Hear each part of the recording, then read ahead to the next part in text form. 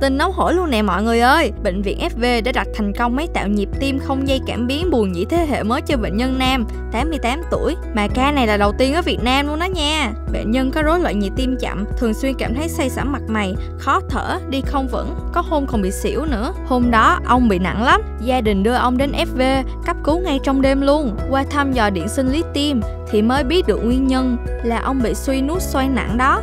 Vậy là bác sĩ khoa tim mạch đã đặt máy tạo nhịp tim không dây cho ông. Đây là một thiết bị nhỏ xíu như viên thuốc con nhọn mà, đưa vào buồng tim của bệnh nhân qua đường tĩnh mạch ở đùi, chỉ mất 30 phút thôi. Sau 2 tháng đặt máy, bệnh nhân khỏe, các triệu chứng gần như hết hoàn toàn luôn.